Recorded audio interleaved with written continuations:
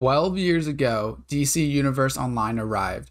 All the DC fans ran to play in the streets of Metropolis and Gotham. As someone who has played the game off and on over the years, one question always stays with me.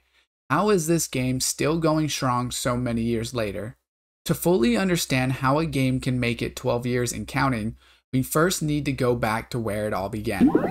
On November 1st, 2011, DC Universe Online officially released free to play. Keep in mind, 2011 was a massive time for gaming. Batman Arkham City, Skyrim, Call of Duty Modern Warfare 3, Minecraft, and Assassin's Creed Brotherhood, just to name a few. So, as you can tell, there's no shortage of competition in 2011. So, how did DC Universe Online get so many players engaged early on? Well, there's a couple reasons. Firstly, it was released to console, which is different than most of its genre. I know I personally always look for MMOs on console that are more engaging than the ones I usually come across.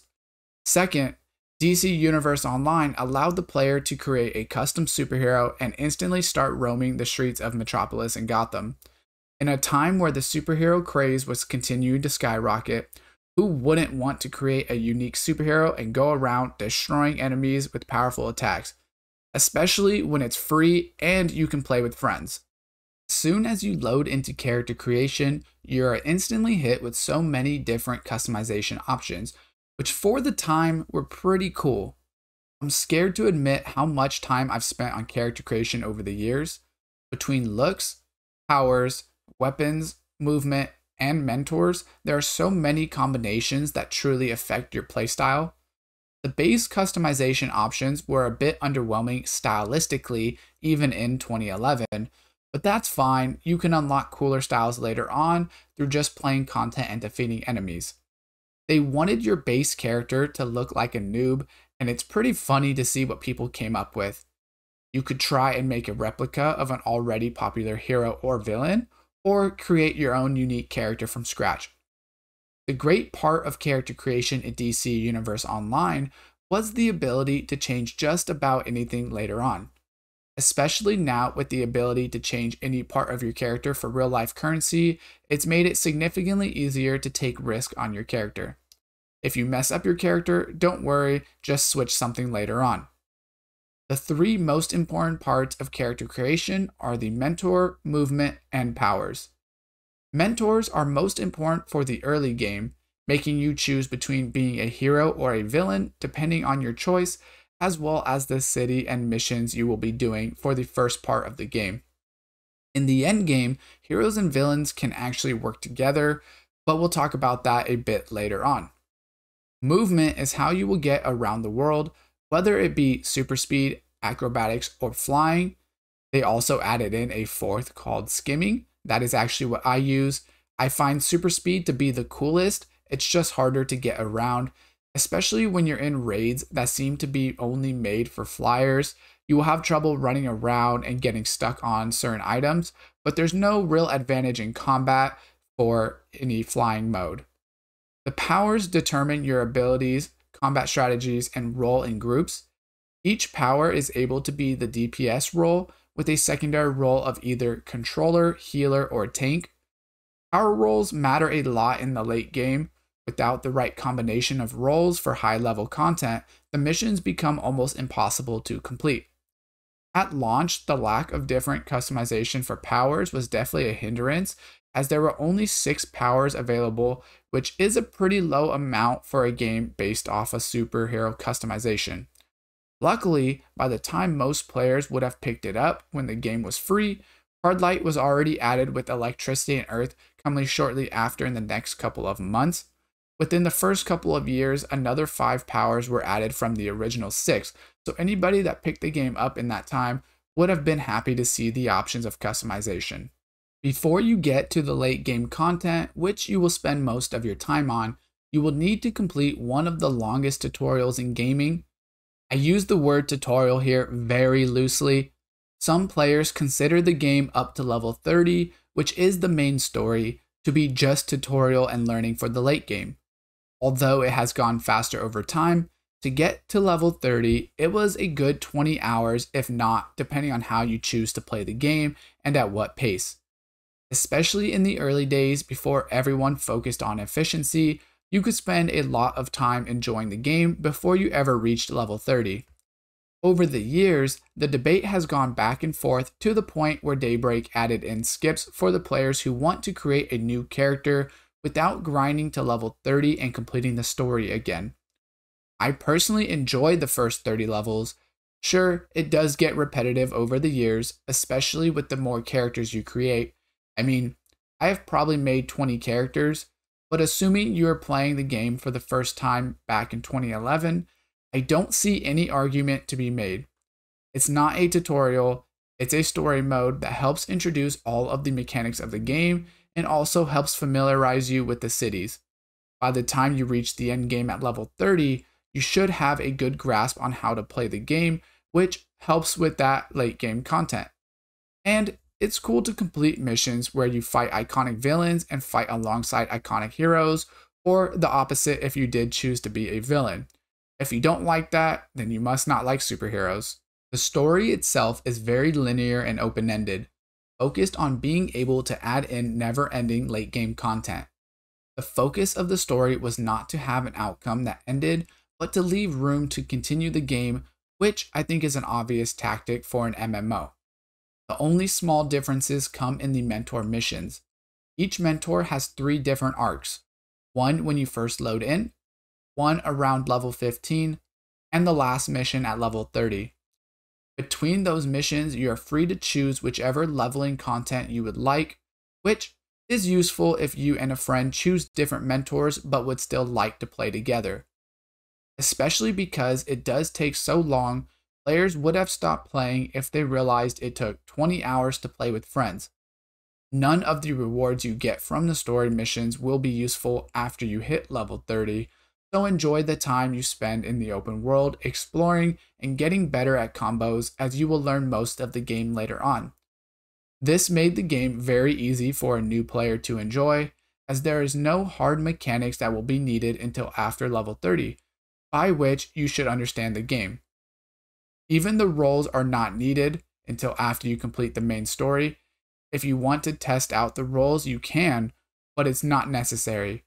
I don't think I even knew what roles were until after level 30, my first time around. It's very obvious that Sony wanted the focus on DC Universe Online to be enjoyment, loading in and enjoying the game with your friends, having no big learning curves for new players, whereas a lot of other MMOs are hard to join in and learn where to go or what to do. DC Universe lays it out perfectly for new players to have fun while still learning the game. Early on, some players did have problems with bugs like running out of story missions before level 30 if they did not complete one other piece of side content. Since then, that's been fixed, and if you do the last mentor mission, you instantly get leveled up to 30.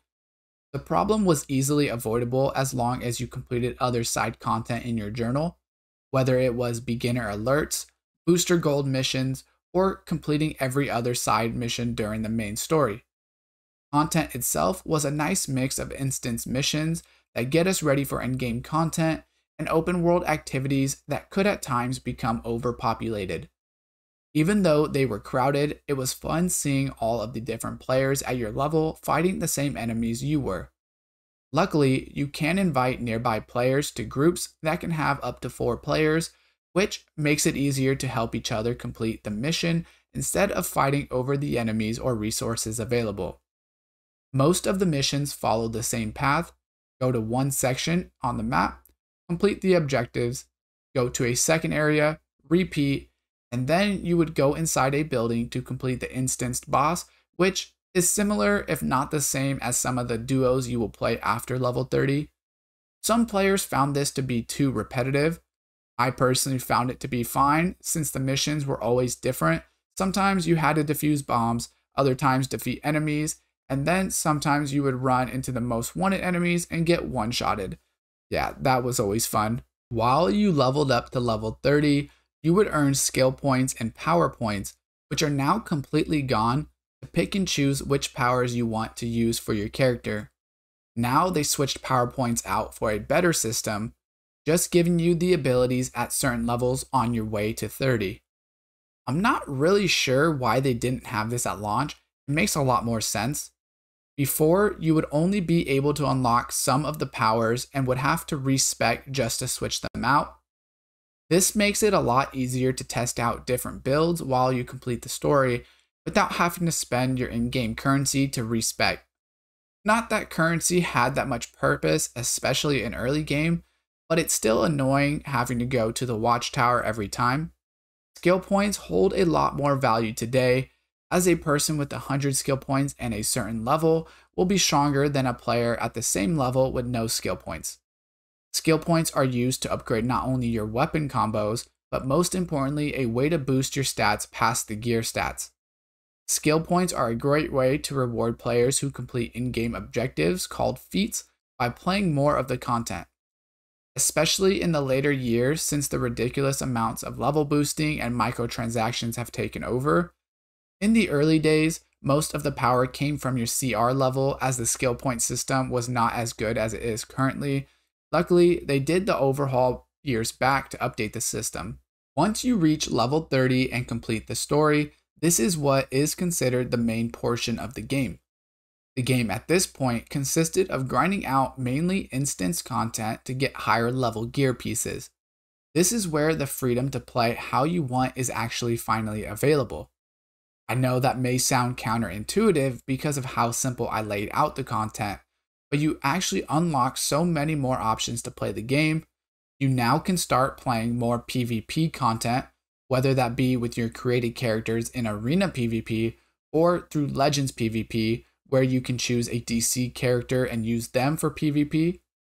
Legends PvP was an easy way to play the PvP mode without needing to have the PvP gear for a created character.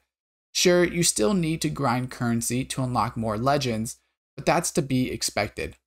Unlocking more characters as you play is an obvious tactic in just about every game.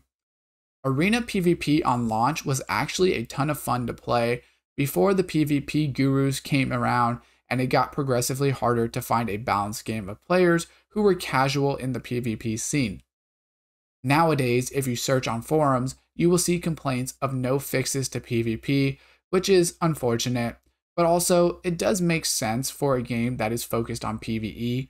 If they nerf a power in PvP, that means it also gets nerfed in PvE, which sucks for the player that is using that power for PvE only, at this point, 12 years later, the only real fix to PvP is to give everyone a base loadout that's even based on their powers and go from there. I'm not even sure that would revive it, but it's the best case scenario. The PvE content is where most players spend their time on. No longer did you fly around the city to complete missions, but you instead switch to the on duty tab, which has been changed drastically since 2011. That was a bit disappointing as I ended up standing in the meta wing of the watchtower almost religiously since all I needed to do was sell the old gear I had to the vendor in between missions. I think incorporating more open world content into the endgame content would create more disparity. Early on, I remembered there being some open world content that allowed the player to fight bosses that would respawn, and they would give really cool styles as well as decent CR. Over time, they have adapted and created more areas to go to and complete daily missions that allows players new areas to roam. One of the earliest ones I remember is going to Central City to help the Flash. You would also be able to unlock more unique styles and defeat new bosses in the area. This helps switch up the content. Instead of just loading into missions from the on duty, you could go and complete daily missions in these areas for unique currency and styles. In the early days, the on duty menu was simple to navigate and figure out what needed to be done to level up, which I think helps more casual players. You could look on the on duty tab to see which missions you qualify for level wise and queue up in your choice of role. Nowadays, even as someone who has grinded the game off and on for years, it's so confusing to look at the menus, let alone figure out what I need to grind to level up. I couldn't imagine being a first time player loading into the game and figuring out what to do. Simplicity is key for any game that is planning on having players take breaks and return to the game later on, and MMOs are the exact genre for that. Early on in the game's cycle, the endgame content created a massive challenge for players, as the gap between the max level and being a beginner in the endgame was so low, there was really no such thing as being carried. Most of the skill came in learning your moveset and being able to position yourself correctly in the boss battles. This is where the game really strived. The combat system was extremely well done. I know it's not perfect by any means, but it was easy to understand and use, but hard to master. That is exactly how you create a skill gap, even in a game focused on PvE. This allowed the perfect environment for higher level players to show their skill while still helping the team succeed. Being able to chain your combos together and perfectly utilizing and timing your abilities for your role was important and noticeable who was putting in the most help for your team through the leaderboard.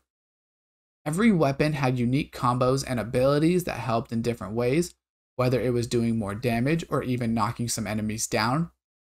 Every power had a place depending on playstyle. Every role was important in their own way. The DPS was there to do just as much damage as possible.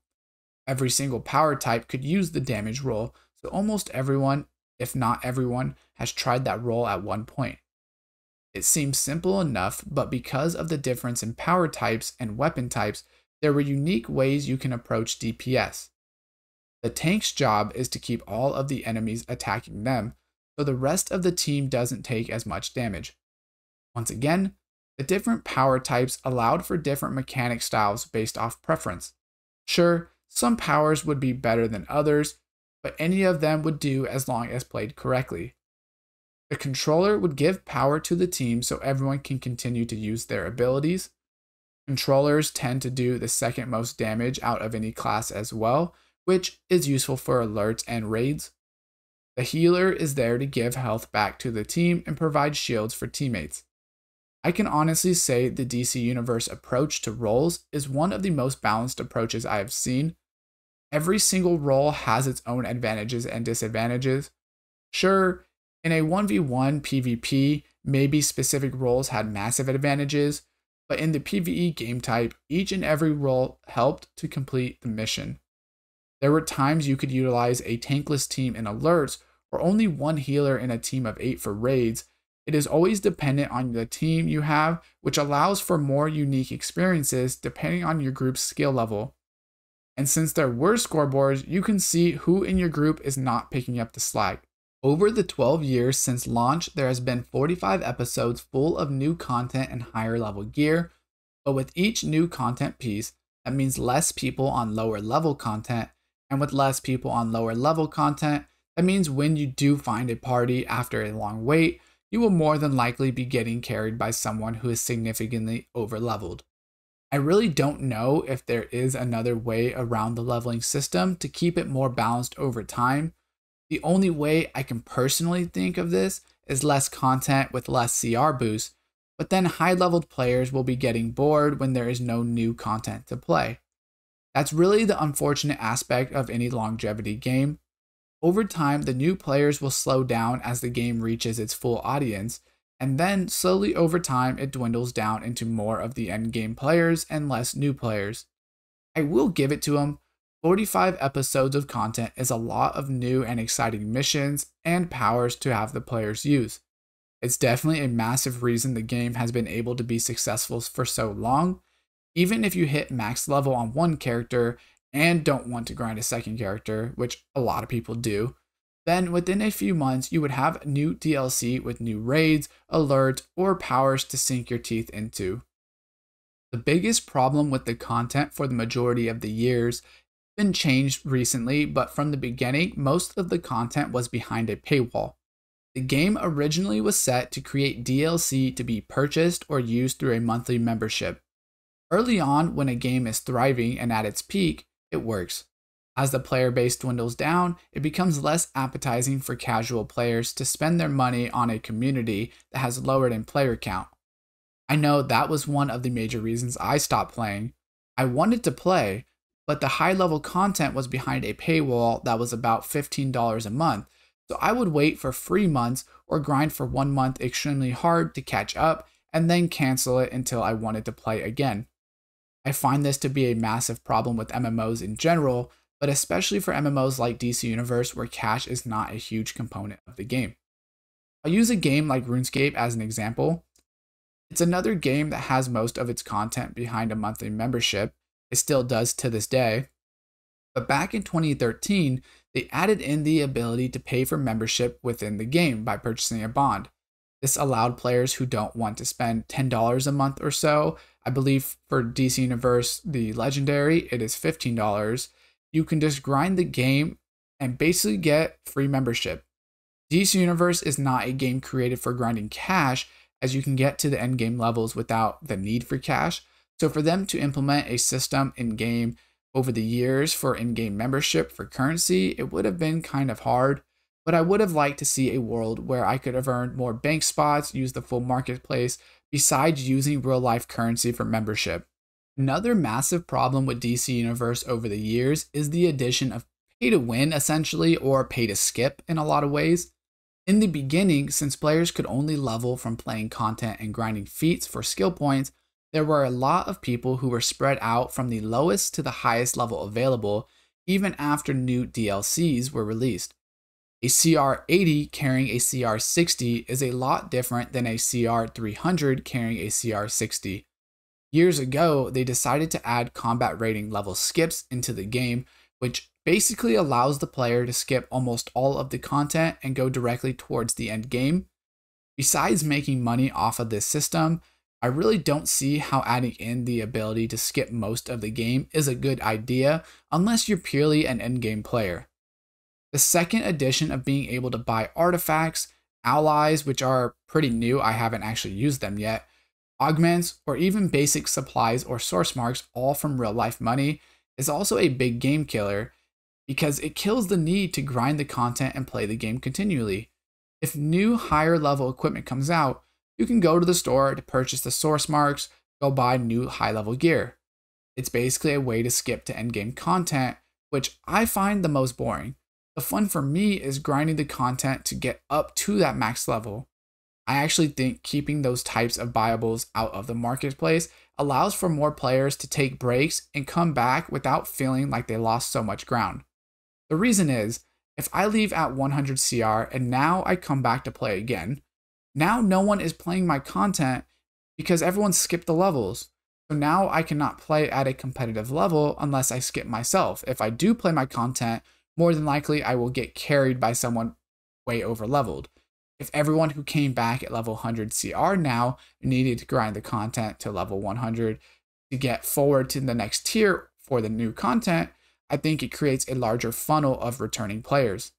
The microtransactions should always be for either DLC, powers, which although DLC is now free, you can still buy powers separately that are behind membership or pay for a month of membership and create multiple characters with new powers. That's pretty much what I did. Or the limited edition styles or cosmetic options in the game. Soon as you add in pay to skip options, it usually splits the player base and numbers go down. Having high numbers in a player base does attract new players, at least in my opinion, if I look up a game and it has, let's say, 500 players playing, I will assume my time will be wasted if I pay money for this game. I still think the game could have done extremely well with more of that model. You compare newer style games like Fortnite that went completely free to play with a bunch of cosmetics and they're making billions of dollars. And seeing that cosmetics in this game are highly sought after commodity, they're not necessary for gameplay purposes, but very much wanted by the player base. As of 2021, DC Universe has over 69 million characters created, which, when you think about it, that's 69 million different character styles that are created, every one with its own unique and individual style. And with the addition of time capsules, which are basically loot boxes that can be either earned or purchased, there's plenty of room for profit and the addition of continual new styles, but once you go too far down into the path of microtransactions and pay to win, I think you turn off the casual couch gamer who wants to play the game every once in a while. I'm a big believer once you lose the casual audience, over time the game will continue to lose players and momentum. Although a game can last 12 years and still be operational, someone who has been around since the beginning, the game is just a shell of what it once was. Worlds are way less crowded, Content that isn't the highest level is almost dead, and the community is not as fresh and lively as it once was. So, how does a game with so many bad features and decisions make it 12 years? Well, there's a few reasons. The first is a dedicated fan base. If you look at any game that has been around for a while, you will find die-hard fans that play that game every day. And that's no different with DC Universe. If you search any forums for advice or log into the game, you will find the players that have been playing for 10 years that even with all the missteps still come back for new content. As long as you have dedicated fans that come to play the game and spend money on the game, it allows the company to continue to put resources into the game. As soon as you stop new content, that's when the game stops. The biggest problem with the DC Universe community is just the toxicity. I see a lot of complaints where players come into the endgame content and are not able to keep up, and it's not the player's fault. If I could buy my way to the end game and have all of the skill points that needed to load in, I might not have the skill level to keep up. But if I'm a new player and buy my way to endgame content just to get kicked from groups or hated on constantly, I would leave the game instantly. Obviously, that's just a select few of the community. If you're able to find a league of players to play with, usually they are very helpful and nice, and that's the best way to play the game. The second way is adaptation and change. Although a lot of the changes and updates have made certain players mad or rubbed the community wrong, always changing the game to keep it fresh helps rejuvenate the game continually. That can be done through updates like DLC or new powers, but it could also be done by changing the meta or what content you have to grind. Changing the focus from CR to skill points all those years ago gave every player that had maxed out their CR up to that point reason to return to content they have may otherwise ignored to get feats done and gain skill points. Because most players do have multiple characters, at least one per role usually, that meant a lot more hours of playing the game. Another big update was the Home Base DLC, which allowed players to create their own lair with tons of new content to grind.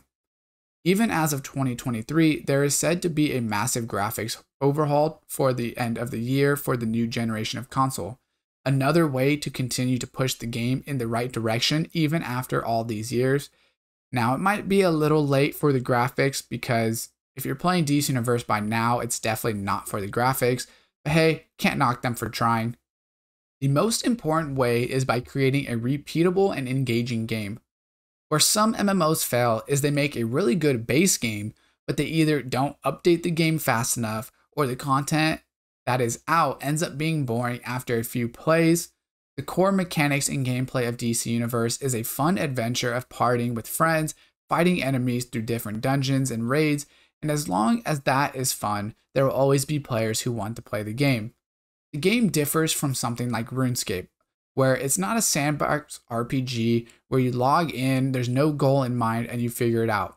DC Universe gives you a clear cut goal of how you want to progress in the game. Obviously, every game has side content, and DC Universe has that side content to keep you busy as well. But the main focus is simple. If you want to spend your time finding every style or completing all of the races, then go for it. But the focus is on combat and leveling your gear. Every other mechanic that is added into the game just adds to the base game that is already there. Adding in things like artifacts, allies, and a home base are just an enticing way to keep people engaged in the core content of the game. It adds new things to look for as you go through new alerts or raids. It's impressive for any game to be getting updates 12 years later, but seeing that DC Universe is still profitable for Daybreak, I don't see it going anywhere. Going almost fully free to play seems like a great option in today's gaming scene, as new games with memberships seem to not be a thing anymore. I'm honestly surprised there's no Battle Pass, to be honest. I would love to hear your opinions if you have played the game. Do you consider it to still be a game worth playing, or is it only the die-hard fans that are playing the game? And if you have never played it before, do you think you would give it a try, seeing that it is free to play? It's definitely not as popular as it once was, but it still has some nice nostalgia and good combat mechanics to play with. If you did enjoy this video, drop a like and check out my other critiques and breakdowns I will link on screen, and I will see you guys next time.